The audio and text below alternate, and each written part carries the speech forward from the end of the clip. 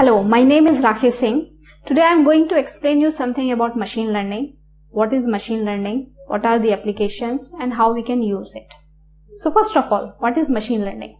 So as per Wikipedia, machine learning is a branch of computer science that helps computers to learn without explicitly being programmed. Sounds like a magic? But yes, we can do it. Let's see how we in an example. In 1952, Arthur Samuel wrote a first computer learning program, a game of checkers. So how it was different from other games? It didn't knew winning or losing moves. It just knew the rules. And as it played against different human beings and computers, it stored all the moves in a database. So in order to decide which move should it take, it assessed from its database from the winning and losing moves and gradually it became unbeatable. So that's how the machine learning works.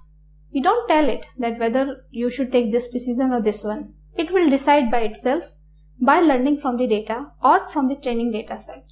So data is a very interesting part of the machine learning. Likewise, we can create other games, other websites which can learn by itself. So where do we use machine learning?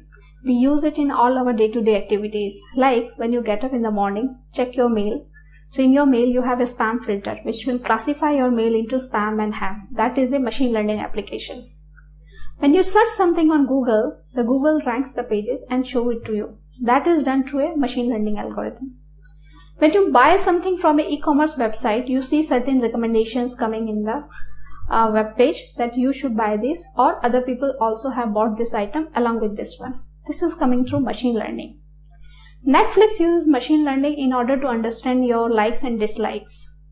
If you are on a dating website, it is using machine learning in order to identify what type of people you like or what type of people you don't like.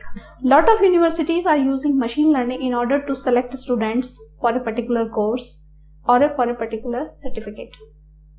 Employers, they are using machine learning in order to define what type of employee they should hire, what type of people they should take and what type of people they should avoid. That is, it is being used in hiring and firing process.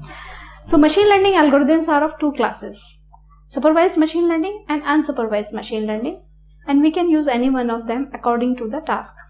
First of all, let's see what is supervised machine learning. In supervised one, we provide a supervision in the form of the data. That is, the algorithm will take the help from the dataset in order to decide or in order to classify something. Let's say we have a program which will decide that which type of students should be admitted in our college and which should not be. So what we will do, we will prepare a data set, historical data from our past 10, 15, 20 years and from that data set we will prepare a training data set. So the information that what type of students are good and what are not good for our college, it will be in the data set. Now from that data set it will learn the things as we do and will apply that knowledge on a new student who is coming into our college for the admission and accordingly will decide that whether the person should be given admission or not. Another type of class of machine learning algorithms is unsupervised machine learning where we don't provide any type of supervision. So when do we need it? Let's say there is a retail store which with billions of customers. Now they want to see what type of customers they have in their data so might be they have some customers which are very old, some are in young, more earning, students, less earning. They want to categorize them. Now it's, it's not possible for a human mind to look at the entire data and to cluster it or to make groups. But machine learning can do it. So what it will do, it will read the entire data and it will make certain clusters from that data according to the traits of that particular data types. Another application of machine learning is in predictive modeling. So what is predictive modeling? It is to predict something after preparing a model from the data. So actually we use statistical techniques like regression analysis and these techniques are very well used in machine learning. So to understand what is a regression, let me take a simple example. Let's say you are trying to find a house we all know that how the cost of a house will depend on the location, size of the house, society, few factors. So if I want to define the cost of a new house which we are looking for a certain location, what we can do? We can prepare a data set of the surrounding houses. Now on the basis of that data set, I can easily predict what should be the cost of this new house.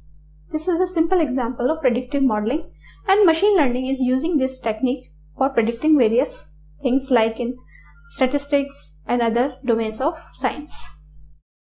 So we have seen what is machine learning. We understood what all type of algorithms are there. Now next question is how can we apply this machine learning?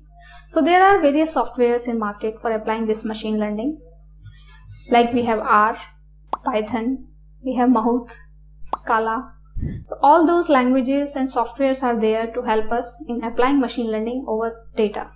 So what we need? We need a huge data set. Of course, we cannot do machine learning on two or three months data. We need huge historical data. And once we have acquired data, we need to clean it, manipulate it.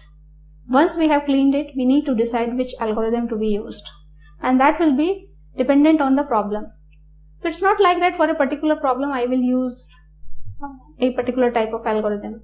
I can experiment various algorithms and see which one is working best. So even it becomes a question of research that which data can be classified by which algorithm or which technique is working well over which data. So yes, we have a long way to go in machine learning. Lot of research needs to be done and you will see many more videos from my side over various techniques. Thanks. If you like the video, then subscribe our YouTube channel Ducat India and press the bell icon for more updates.